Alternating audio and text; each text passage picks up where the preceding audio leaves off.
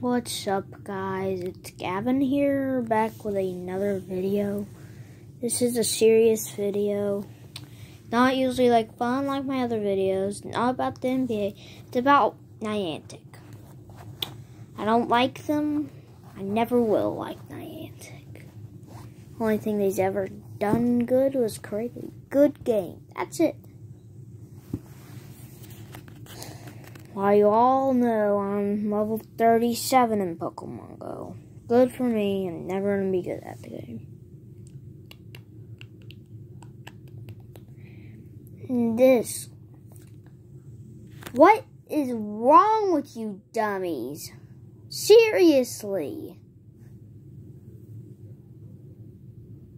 The pandemic bonuses, they took them away. That's it. And Niantic ain't taking even listening to the people that like their game. This is stupid, Niantic.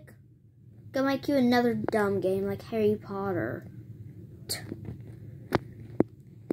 I'm gonna I'm gonna still play the game, but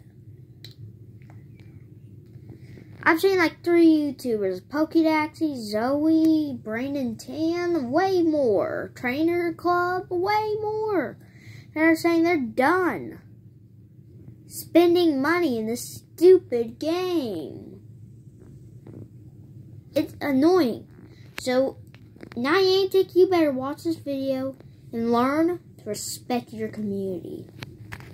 Thanks for watching. I might post another Pokemon Go video soon, but just Niantic.